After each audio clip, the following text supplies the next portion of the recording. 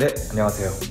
locking 댄서이자 MC로 활동을 하고 있는 그리고 이곳 서울종합예술실용학교의 06학번으로 졸업을 한 두락 정상현이라고 합니다. 반갑습니다.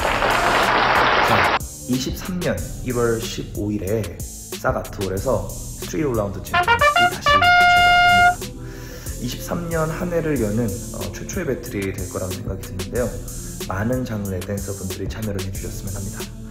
자, 이번 Street All Round Championship 같은 경우에는 예선전은 사이퍼 형식으로 진행이 되기 때문에 다양한 장르의 댄서들이 여러 가지 음악 속에서 본인들이 가진 기량을 마음껏 펼쳐주시면 되겠습니다.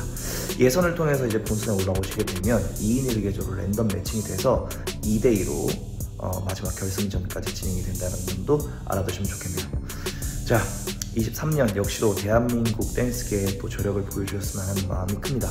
그래서 그동안 연습하셨던 많은 것들을 이 무대에서 유감없이 펼쳐주시길 바라겠습니다. 감사합니다.